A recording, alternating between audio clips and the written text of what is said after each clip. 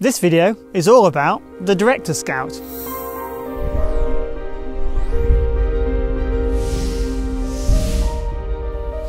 So I'm in a suitably epic uh, location. Uh, this is not a green screen, this is actually the Sahara Desert.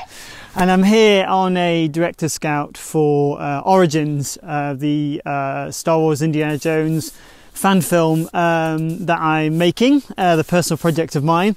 If you have no clue what that is, um, uh, it would be surprising because I've been banging on about it for ages. But uh, have a look at the uh, Origins playlist on my channel, and uh, you'll find out more about this crazy ambitious project, which has brought me literally to the Sahara Desert to find uh, locations. But I thought this was a good opportunity to talk about what the Director Scout is, what I use it for, and uh, some of the tools that I use to help me remember what I've seen. So the process for me, this is commercials, film, anything that I'm working on, is that um, I will write a detailed brief. The brief will have images um, that are pulled off the internet from movies to say this is the kind of thing I'm looking for. Sometimes I'll find what I think is the perfect place um, and uh, give the location people uh, the challenge of trying to find either that exact place, which usually is on the other side of the world, and then we have to find a equivalent in Wales or something, and they'll go out and they'll take pictures. And from that from those photos I'll, I'll kind of whittle down to the few this could be anything between 3 or 10 locations that I'll go and see myself uh, on the director scout so this is very different to the tech recce's. That's when you'd have your DP, um, you, you, know, your heads of departments, your art department, and they all want to come um, and you talk about specific shots then when you've decided on the location. But it's important, I find it's important on the scout, is for just to be you, maybe the producer, um, and the locations uh, scout, just to walk around and take pictures and just kind of immerse yourself in the location on every single thing that I've ever directed. You go into a location and you always see something different, something you didn't think of, a little gift, you know, the location gives to you.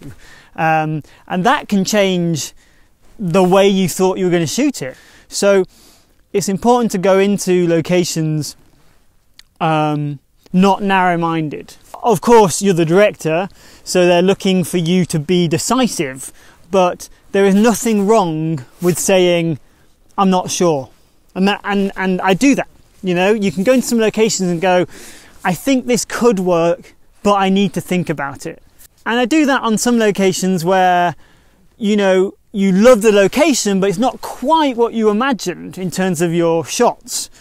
So you need time to sort of go away and have a think about, okay, if I was going to do it in this location, if you fall in love with the place, um, you need to figure out um, if you can actually practically shoot it there and put all that time in again to write a new shot list, to play with some new storyboards, to come up with some new references, to see whether it actually works. You either fall in love with the location because it looks pretty, or you're falling in love because it looks pretty and you can and it also offers what you need to tell the story. And that's what's really important, whether it's a commercial or a film, is that there is no point just picking a place that looks good and then be backed into a corner and not be able to actually shoot the scene there. Now, sometimes you know a place is completely wrong.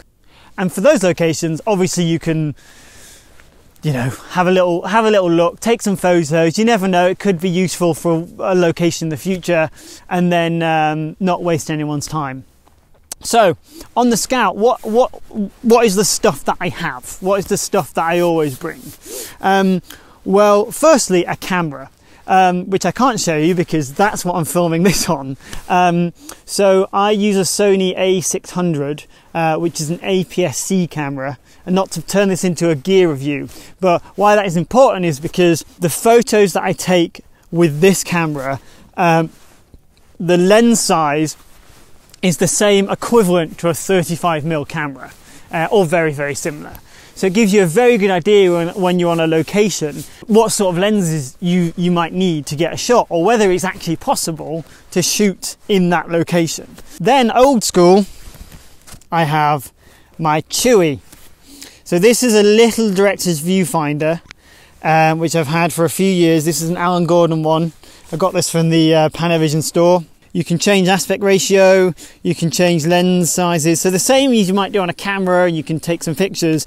This is a good way just to, you know, put it in the eye and then sort of frame a shot. Um, and what's very good is that you obviously you can change the aspect ratio more than you can on an actual camera. So it gives you a good idea of what, oh, I mean, 235, 24 mil on this background is just like, I'm shooting Lawrence Arabia right now.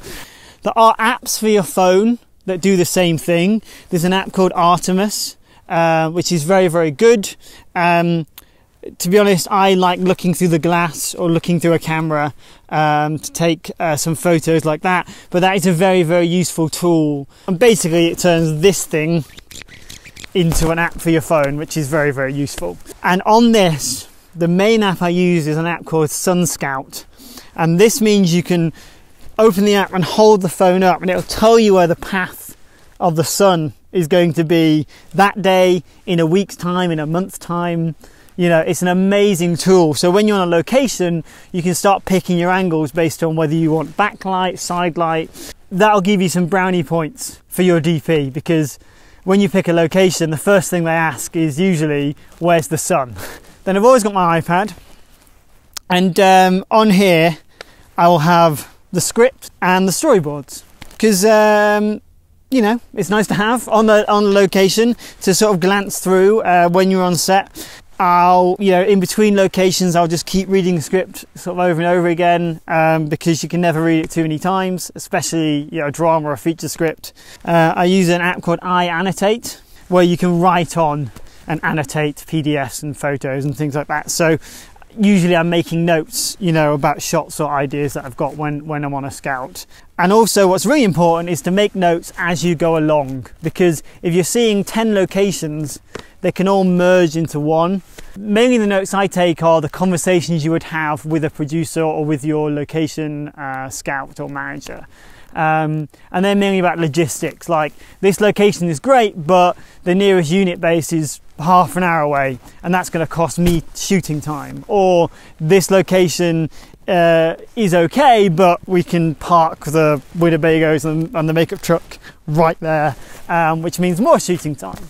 So usually the practical elements, which are very hard to take a photo of, um, but are quite important in making that decision about what location you're going to choose. It's obviously about does it work for the story? Is it what you imagined in your head? And practically, does it make sense for the production? You can't have your blinkers on and pick locations just because they look nice. Um, you need to take into consideration the practicalities of it as well because that's your job too. And I think that's about it. I think. I'm probably missing something glaringly obvious. It's going to be very difficult to to drop that back in because I won't have the Sahara Desert um, when I come to edit this. But um, I hope you found this very useful. If you have, please uh, like, share, and subscribe. And if you haven't checked out the um, reason why I'm sat in the Sahara Desert doing this video, please check out the videos on Origins, the uh, crazy uh, personal project short film that I am in the process of making, or if you're watching this in the future, I have already made, and go enjoy the film. Um, so thanks for watching, and uh, I'll see you next time.